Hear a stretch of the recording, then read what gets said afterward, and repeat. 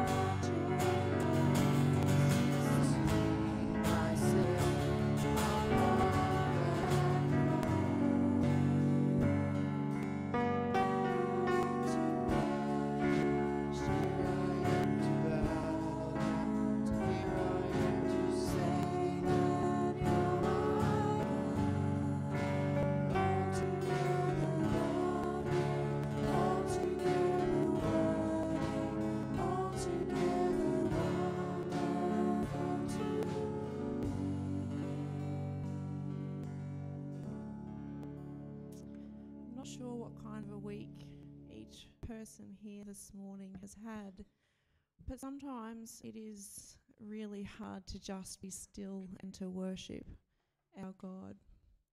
Just going to pray and then we're going to sing a song called Lord, I Need You. Heavenly Father, thank you so much that your Holy Spirit is here with us this morning. In your grace, please quieten our hearts. Help us, Lord, to focus and draw close to you. You alone are good. Every hour, Lord, we need you. You are our one true defense and our righteousness. Thank you that your grace runs deep. Where your grace is found, that's exactly where you are. Thank you that we can depend on that. As we sing this morning, may our worship to you be pleasing. Amen.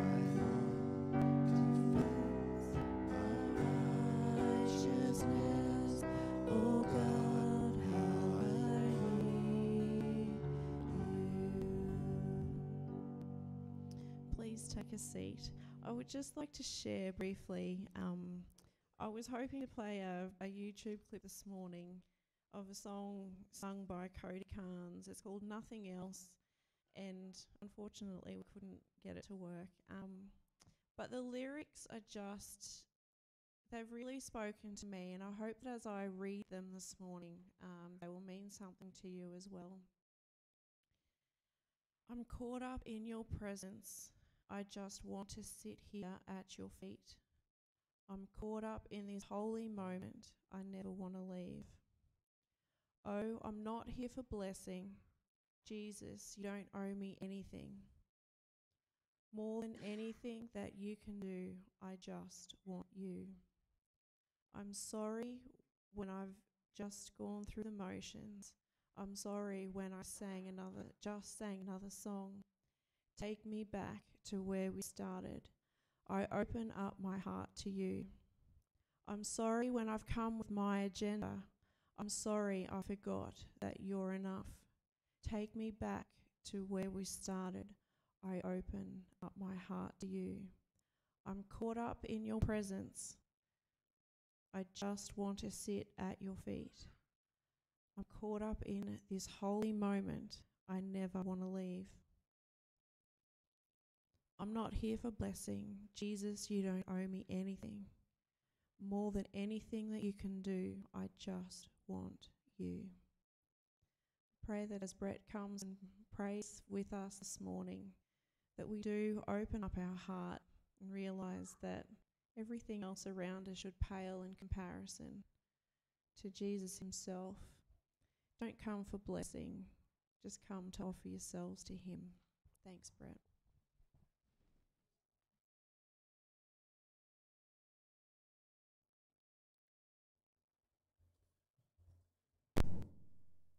You all join with me in prayer?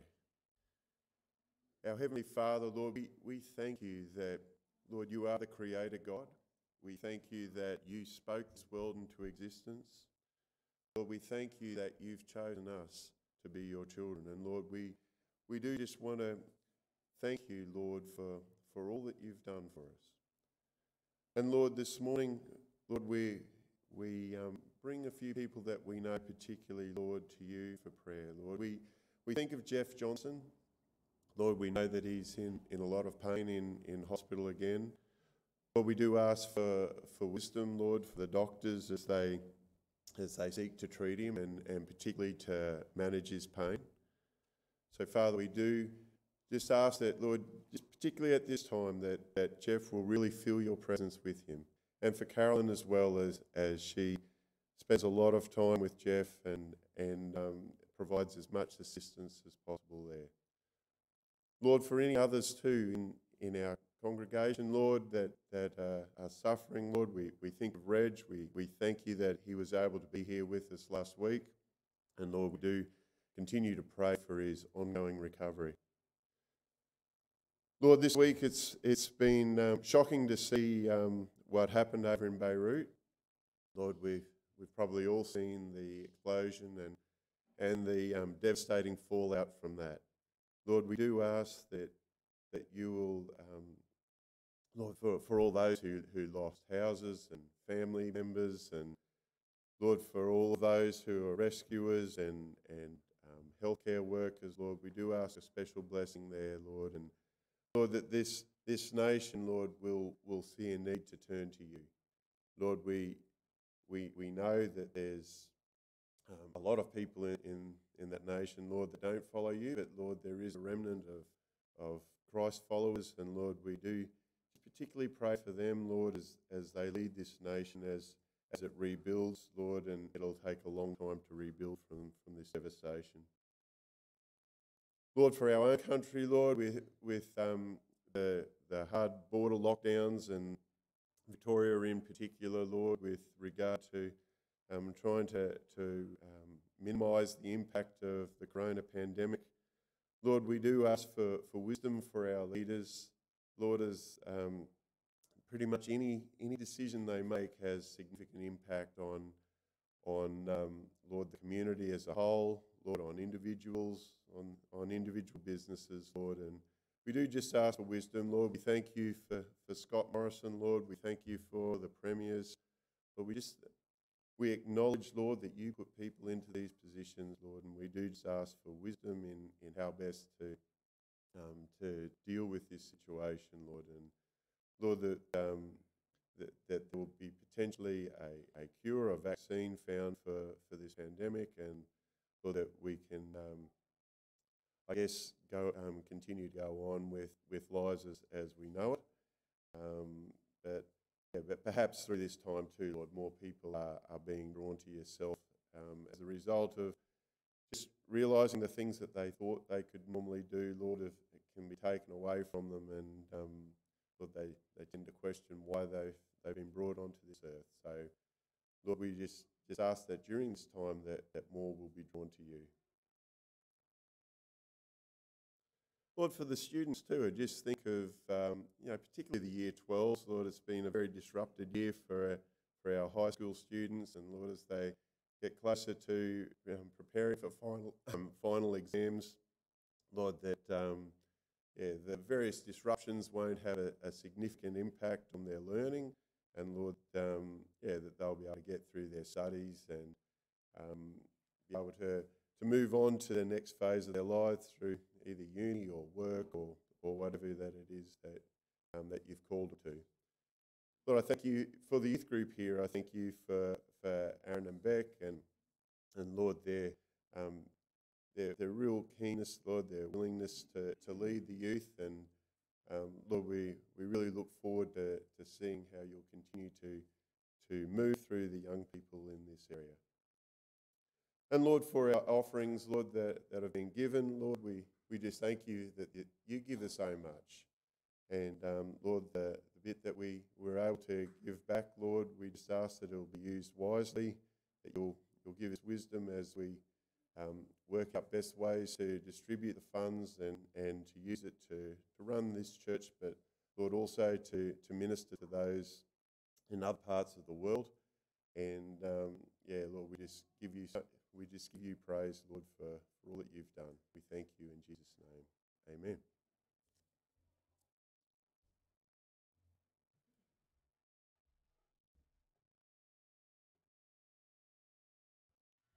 Our next song is called Show Us Christ. As we prepare our hearts um, for the message this morning, um, I just felt like this was a good, a good song to get us into um, being prepared to hear what God is going to say through Dale. Um, and also invite the Focus children at this time if they would like to uh, move out to their program. That would be wonderful.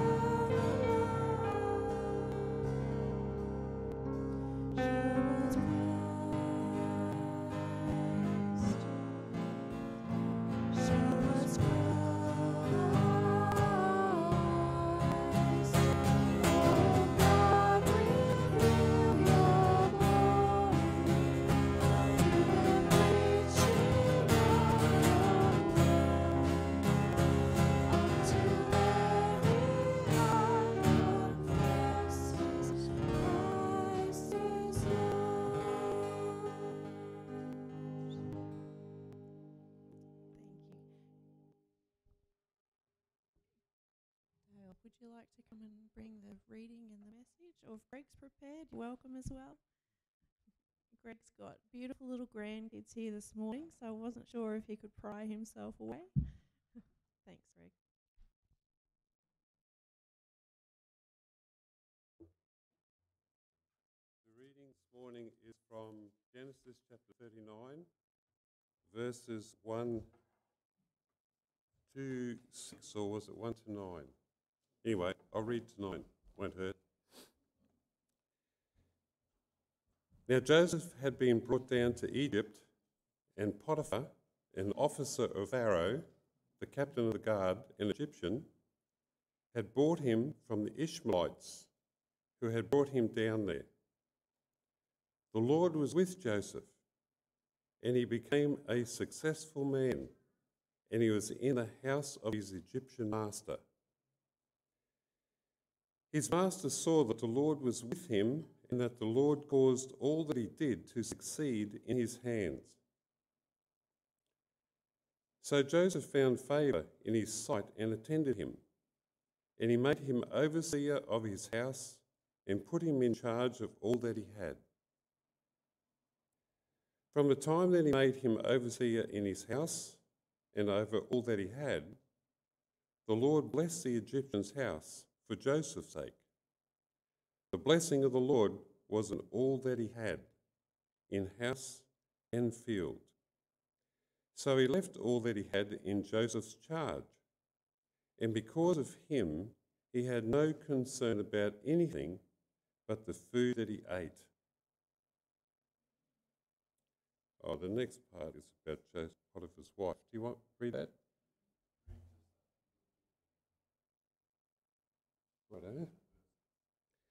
So Joseph was handsome in form and appearance. There we are. Thanks be to God for his word.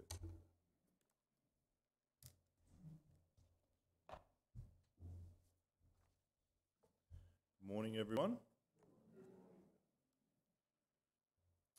Now, I know what you're thinking. You're thinking, didn't we cover this last week? Didn't Stuart preach a good message last week? It's uh, definitely not like that. I'm not covering the same ground and um, hoping to do a better job than because I couldn't. He did an excellent job, and I really appreciated that, and um, I know many of you did as well. But this morning, I'm just wanting to look at Genesis 39 again from a slightly different perspective. But first, would you pray with me?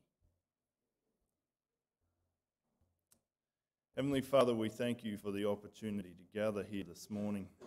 Uh, many throughout the world are not afforded the same sort of opportunity. And Lord, we thank you for that. We thank you for the protection and provision you've had upon us as a church, as individuals, and as a state as well.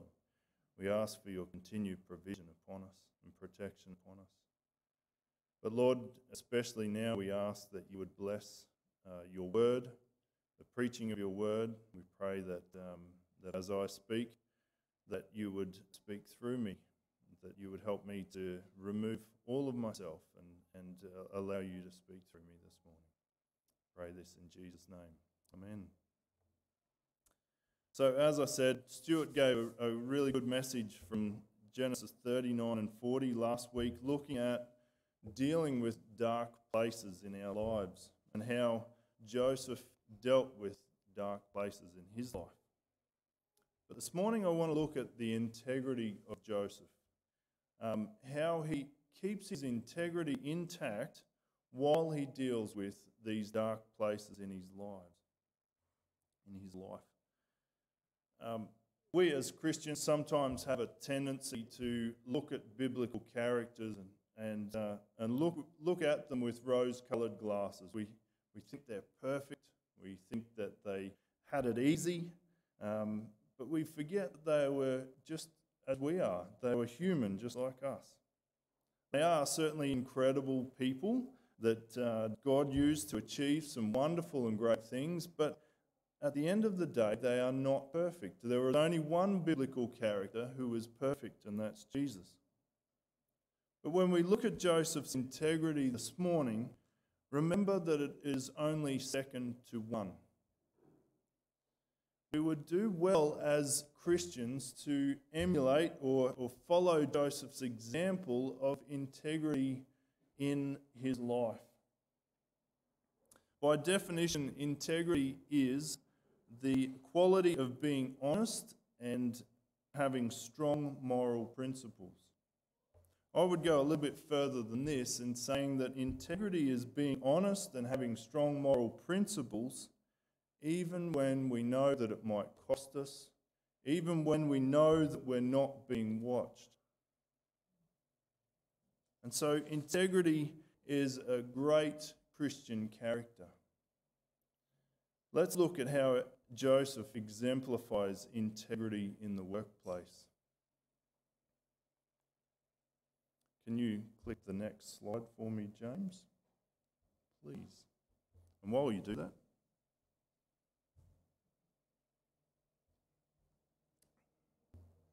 so as we've heard over the last couple of weeks, Joseph was sold into slavery by his brothers and eventually found himself in the household of Potiphar.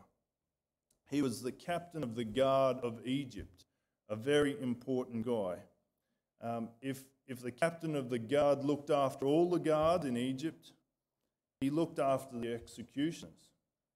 And so, no doubt, Potiphar was a man to be feared. But what we see in our passage this morning is, is how Joseph shows his integrity in his workplace. And I say that in inverted commas, workplace. He was a slave in Potiphar's house, and, he, and, and yet he diligently works to show that God is with him, to show his integrity, and he, he becomes successful. He becomes successful right to the point where he was the second man in charge of, of Potiphar's house. And this is due mostly to the fact that God was with him. Um, look at verses 2 to 3. But it was also it was a decision that Joseph made to not let his situation get the better of him. Verses 2 to 3 says, The Lord was with Joseph, and he became a successful man. And he was in the house of his Egyptian master.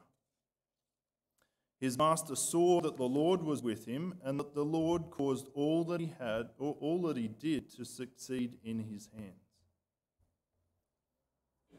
As employees or employers or retirees, even, we have the opportunity to demonstrate integrity or the lack thereof, um, integrity in our workplaces on, on a daily basis.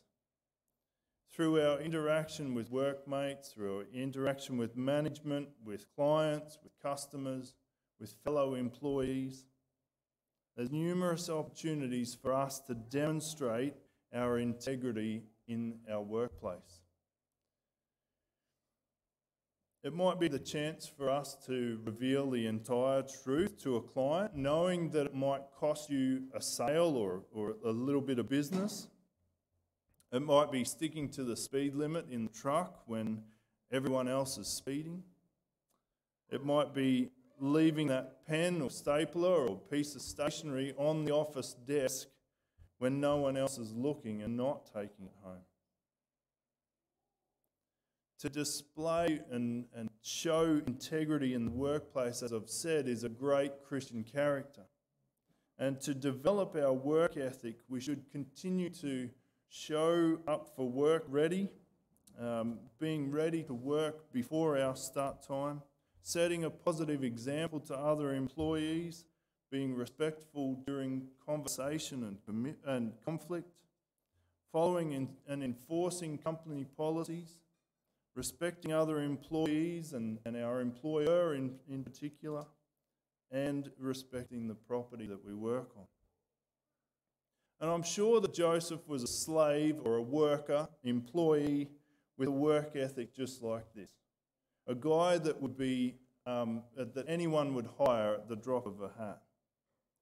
But look again at verse 3. There's something interesting in verse 3. Verse 3 says, His master saw that the Lord was with him and that the Lord caused all that he did to succeed in his hand.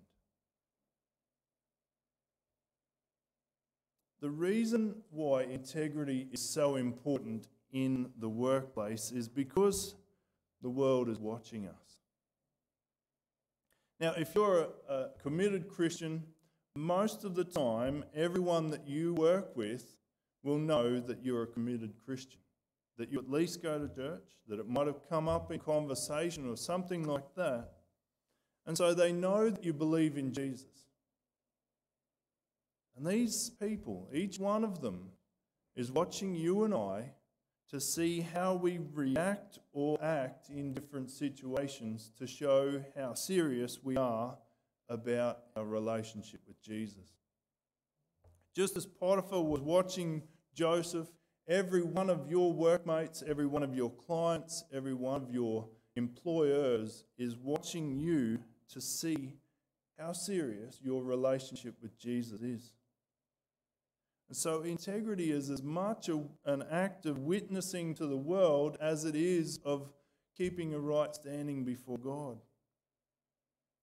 The Apostle Paul uh, gives us clear instruction to employees, and he uses the word bond servants, which is essentially a slave, in Colossians chapter 3, verses 22 to 24. It says, Bondservants, obey in everything those who are your earthly masters, not by way of eye service as people pleasers, but with sincerity of heart, fearing the Lord. Whatever you do, work heartily as for the Lord and not for men, knowing that from the Lord you will receive the inheritance as your reward.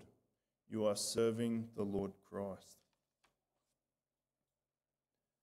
Those words there do everything as if you were doing it for the Lord. Do you ever think about that when you're at the daily grind of Monday to Saturday or Friday, if you're lucky enough? Nine to five, do you think about whether you're doing it for the Lord or is it, are you working for your boss? When your job gets difficult or when there's tension between you and your employer or or, or even other workmates. Remember that you are doing everything as if you are working directly for God Himself. Employers, you don't get off scot free. Chapter 4 of Colossians, verse 1 says, Masters, treat your bondservants justly and fairly, knowing that you also have a master in heaven. Not only do we witness through how we work with and, and for other people, but how we treat our employees as well. And so, integrity in the workplace is important as our, our prayers on Sunday morning or our worship on Sunday morning. Integrity in the workplace is important because it's related to our witness to a world that is lost without Jesus. Our integrity is a demonstration of how we follow Jesus Christ. But integrity in the workplace is important just as, is, as it is in, in the home as well. Verse 5, it says, From the time that he made him overseer, so made Joseph overseer in his house, and over all that he had, the Lord blessed the Egyptian's house for Joseph's sake. The blessing of the Lord was on all that he had in house and field. So he, Potiphar, left all that he had in Joseph's charge, and because of him, he had no concern about anything but the food he ate. Potiphar had no worries about his household while Joseph, this man of integrity, was in charge. And this causes me to ask this the kind of question do we display the same sort of integrity in the home as we do outside of the home? Do we demonstrate the same sort of integrity or, or character at church as we do at home? Home is our safe space and, and it includes the ones we love, our family, our spouse, this doesn't mean that we should um, leave our integrity at the door. This doesn't mean that we should take advantage of this safe space and, and think that we can treat those within that safe space in any way we choose. Um, in the last 12 months, it was brought to my attention by my wife, uh, probably for the second time, because I'm a slow learner. Um, but it was brought to my attention that I wasn't demonstrating integrity in the home, especially after church on Sundays. Um, I would come to church, be all cheery, organise a church service, preach my heart out, worship God, and then go home and be tired and grumpy and not a man of integrity. If there's if there's things that we hate as husbands, it's when our wife brings attention to something where we're failing. And even more when we know she's right.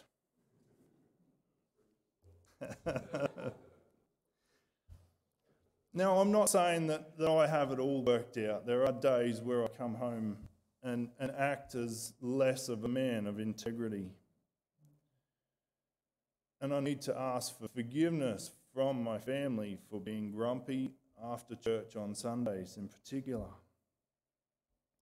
But integrity at home is as much an issue of treating those in our home with the same sort of respect and love and character and attention as those that we do when we're out and about, whether it be at work, at, at down the shops, at church on Sundays.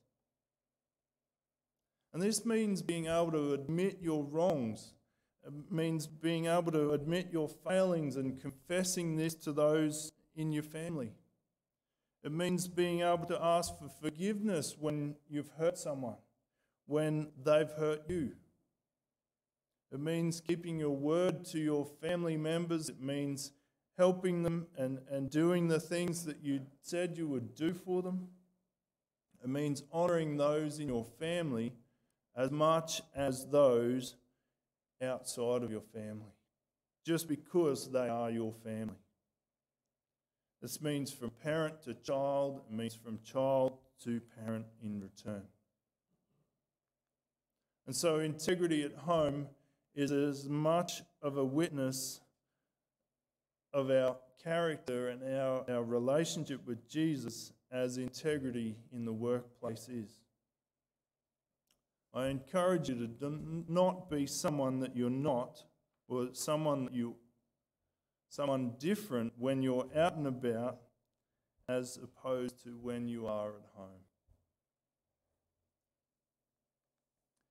The greatest example of integrity that we get from Joseph this morning is his integrity in the workplace and in the home as well. But greater than that is the integrity that he shows around sexual relationships. Have a look at verse 7 for me. The end of verse 6 says, Now Joseph was handsome in form and appearance. And after a time, his master's wife cast her eyes on Joseph and said, Lie with me. What a temptation. Joseph was a rugged, handsome teenager all of about maybe 15 to 17 years old. No doubt with hormones in full force. And to rationalize this temptation would have been simple. No one would ever know. It's just you and her in the house. Your family are miles away in the land of Canaan. She wants you. She's throwing herself at is throwing herself at you. Everyone else is doing it. It could advance your career in the household even further.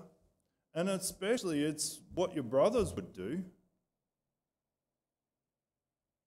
Joseph shows an amazing amount of restraint and integrity, and he refuses flat out to do this with his master's wife. Verses 8 to 12. But he refused and said to his master's wife, Behold, because of me, my master has no concern about anything in the house, and he has put everything that he has in my charge. He is not greater in this house than I am, nor has he kept anything back anything from me except for you, because you are his wife. How could I do this great wickedness and sin against God? And as she spoke to Joseph day after day, he would not listen to her, to lie beside her, or to be with her. But one day, when he went into the house to do his work, and none of the men of the house were in there, in there in the house, she caught him by his garment, saying, Lie with me. But he left his garment in her hand and fled and got out of the house. Potiphar's wife then stitches up Joseph on trumped up charges of sexual assault, and Joseph then finds himself in, thrown in prison, which was what we heard about last week.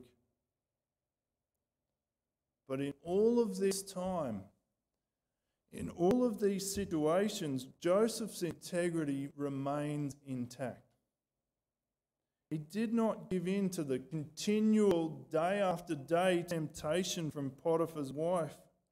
In fact, he equated the, the acceptance of, of her offer to sleep with her as sinning with or against God. Have a look again at verse 9. It says, He is not greater in this house than I am, nor has he kept anything back from, from me except for you, because you are his wife. How then can I do this great wickedness and sin against God? Joseph saw the greater evil not as sinning against his master and sleeping with, her, with his wife, but sinning against God himself.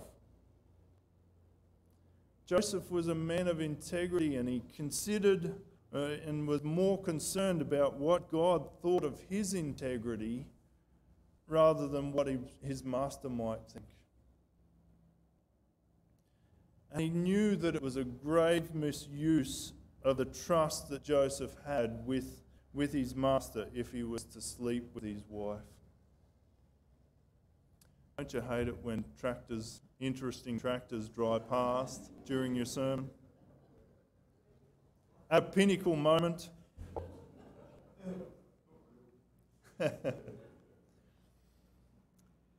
So, the greatest sin in this situation was to go against the ideal that God had for relationships. That God had ordained that it would be one man and one woman for the, for the entirety of their lives. And so Joseph knew that this was a wrong thing to do, and he flat out refused. Now, in this day of of the sexualization of just about everything, it's important that we as adults regularly consider our sexual integrity. It's just as important for us to do that, uh, for, for us to teach our children and our teenagers to do the same sort of thing. To make a commitment to, can you go back one slide, James, please? to make a commitment to keep our sexual integrity intact. Kirsten Jensen, a, Christian um, psychologist, says that sexual integrity is being honest and careful with my sexual power by using it only within a committed relationship. She doesn't say marriage there, but I would. To show love and affection for my spouse and to create a family. Sexual integrity means that I do not use pornography to excite my body because that is misusing the purpose of my sexual power as well as misusing others. To make a commitment to keep our sexual integrity intact takes a great deal of self control, just as Joseph shows here in, in uh, Genesis 39 when at every glance, whether we're on the computer, whether we're down the street, there's something that could entice us. To turn away from that, to not look at that or dwell on those sights and those thoughts, takes a great deal of willpower. And yet it was it is very rewarding to do this. Not to just make an internal commitment to sexual integrity, but to carry it out. You will reap the rewards within your marriage, within your relationships, and with God as well. If we allow ourselves to engage in or, or dwell on thoughts of any kind of sexual nature that are outside of the marriage relationship, we have the very grave danger of finding ourselves in a position that we don't want to be in. To find ourselves further down the rabbit hole, as, as Alice in Wonderland, to use that analogy. To, to be in a place where we're just continually going further and further and further away from God. The Mrs. Potiphar's of the world um, entice us with sexual gratification, but then leave us in a position where we're more and more empty, less and less satisfied, and, and more and more guilty. We're wise to make a commitment to sexual integrity internally, but then to carry it out, to run away from anything that entices, is more, all more wise. But then, further upon that, is that even more wise to make the commitment now, when you're in a strong and healthy relationship, to not even be in the same places as the Mrs. Potiphar's of the world. To make a commitment to be seen uh, or not seen to be sexually integral.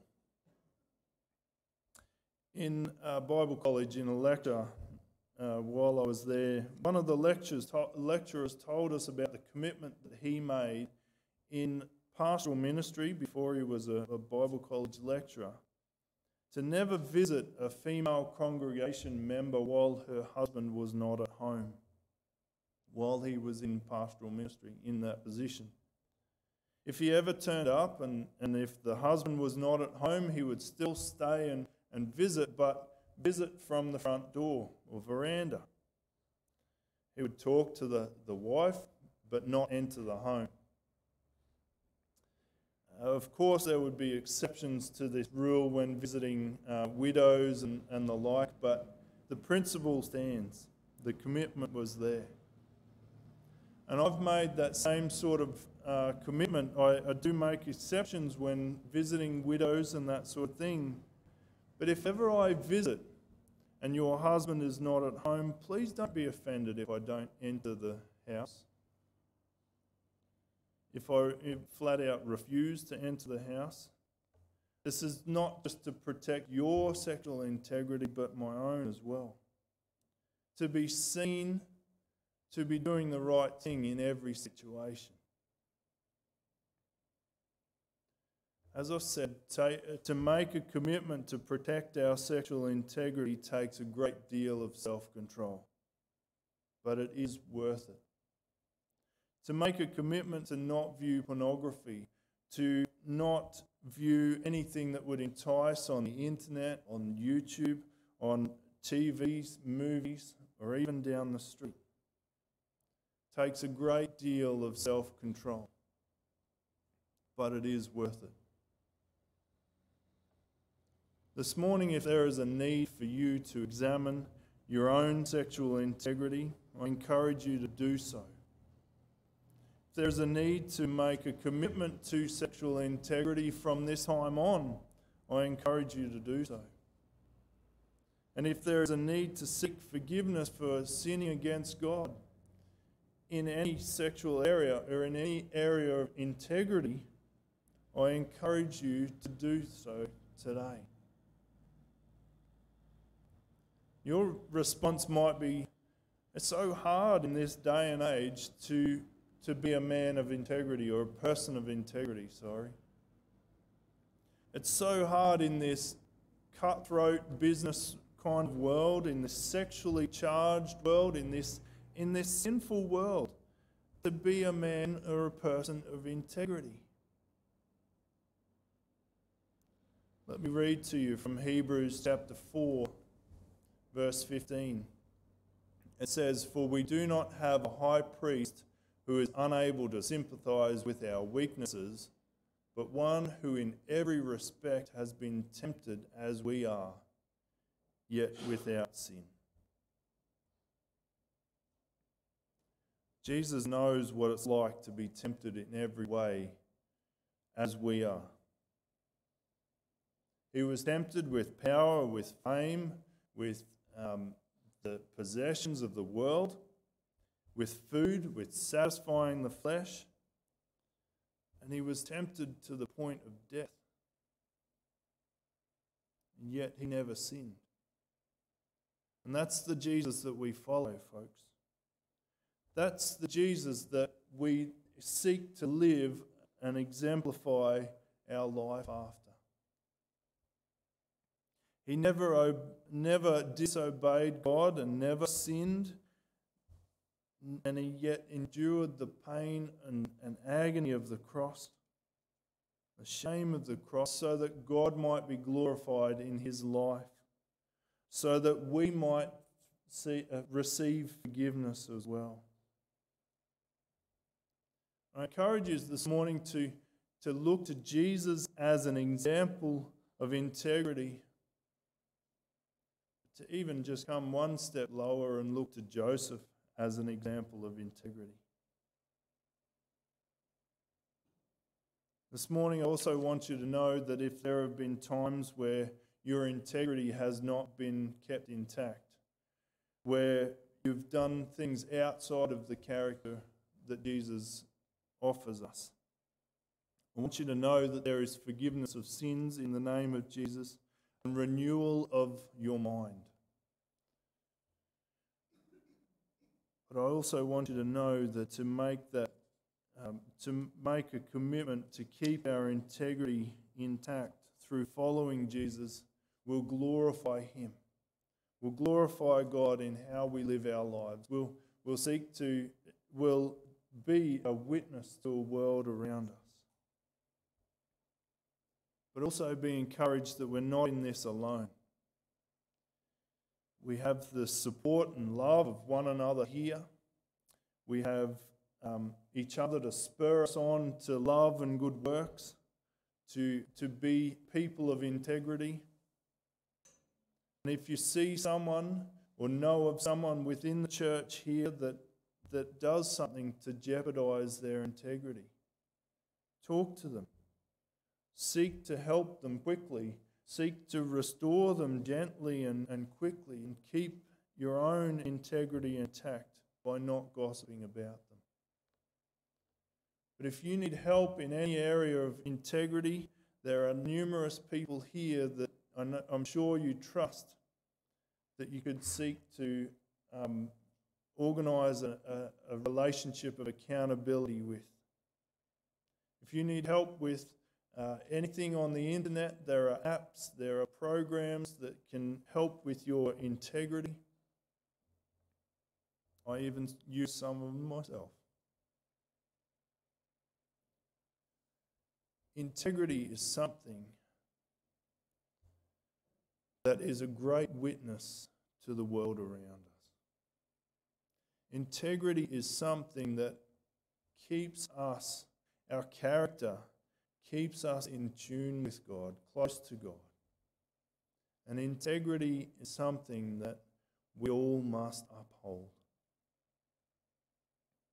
Would you pray with me? Lord God, we thank you again for the examples of people in Scripture, human beings just like us. And Lord, we thank you for Joseph's example this morning of how Joseph glorifies you through his integrity, of how he, he works as if he was working for the Lord in a dark place, how he keeps his integrity intact in prison, how he keeps his integrity intact in, in sexual relationships in the face of temptation. Lord, we thank you for that example. But Lord, greater still, we thank you for the integrity of Jesus, who was willing to undergo temptation and yet was without sin, who was willing to, to go through the pain and the shame and the agony of the cross in order that his integrity might be kept intact, in order that the relationship with you might be restored for, for us, that we might have forgiveness of sins and new life, and our minds renewed day by day. Lord, help us be a people of integrity in area, every area of our life, within the work um, environment, within our homes, within what we look at, think about, and how we act. Lord, I pray that you would continue to change our character to be more and more like Jesus every day so that we might win souls for you so that through us you might witness to a world of, of how glorious and wonderful you are. And so that we might see people in heaven because of the integrity of ourselves, because of what you are doing through us. Lord, we pray this in the wonderful name of Jesus. Amen. as the um, music team come and and um, lead us in the final song, I'll just do the announcements now, if that's all right. Um, there is a, a, newsletter. I printed out a big one for myself. Uh, there is a newsletter this morning, and in it, it tells us about the um, members' meeting on the 23rd. So that's another two weeks away. There are the nominations for deacons and elders there, which have now closed. And so I ask that you prayerfully consider the following nominations. Um, all who are continuing deacons and some continuing elders. Uh, Jason Windoff and Ted Stubbersfield for the, for the deacons. Chris Meyer and Greg Sharp, David Leake and Brett Garmoster for the elders. So if you would please prayerfully consider that. Uh, we will be voting on those nominations in uh, two weeks' time on the, at the members' meeting following the service. Um, and the other thing I have to mention is the email that I received from Lachlan and Tiffany during the week. I'll read it to you. It says, Hey everyone, we are very excited to be returning home and seeing you all. Currently, and as long as God is willing, we have flights booked for us to, relo- uh, us to arrive on the 1st of September. Although, in this whole COVID situation, this could change as the dates approach. We will have two weeks of quarantine when we arrive, so please pray about how we will pay for that. And we would love to organise some opportunities to share about OM in Albania, our ministry, and other stuff that people might like to hear once we're out of quarantine. We love you all. We're looking forward to seeing you all again face to face, maybe through masks, it says. Um, so, Chris and Georgie, have you got a final figure on what the hotel quarantine would be?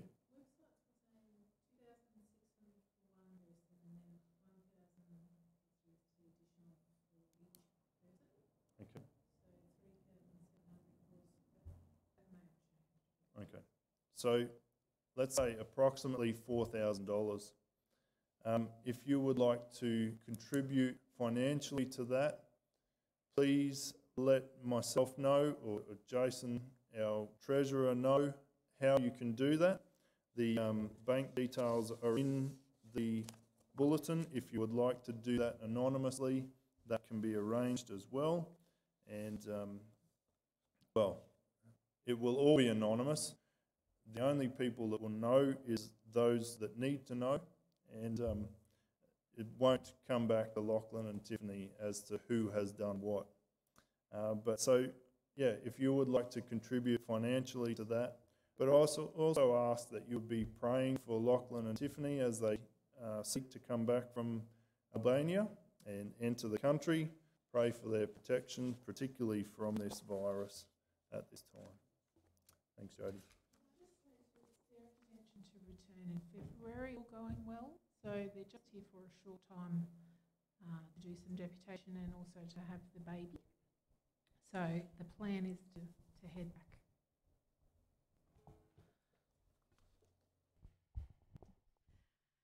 I'd just like to encourage everybody to remember that our Father is everlasting. He is ever forgiving, should we choose to repent before Him. In closing our service this morning, um, my song I've picked is This I Believe.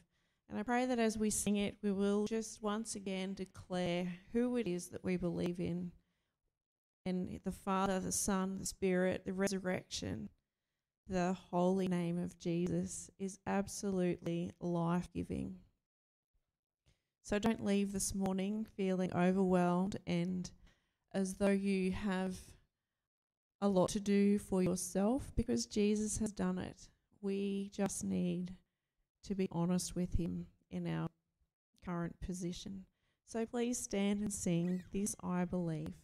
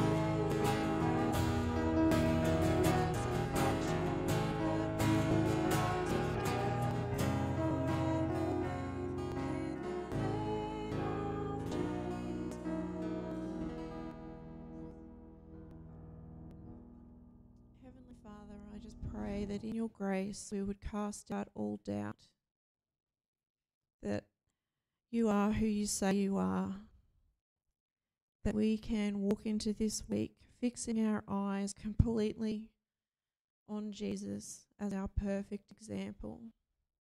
Thank you for your holy word that has been written to encourage us that you have used the lives of ordinary people in absolutely extraordinary ways.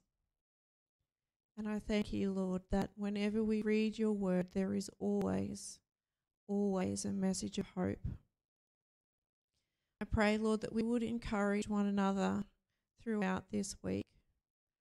I pray, Father God, that we would remember to pray for protection around one another this week. You alone are good. You were tempted in every way, and yet you stayed 100% close to the Father. Thank you, Jesus. May we go into this week knowing that we're not alone, that we do have each other. But even better than that, we have Jesus Christ right beside us. Thank you for your grace. Thank you for this moment in time that we have been able to spend with you. May we continue to walk into this week with you. Amen. Thank you all for joining us.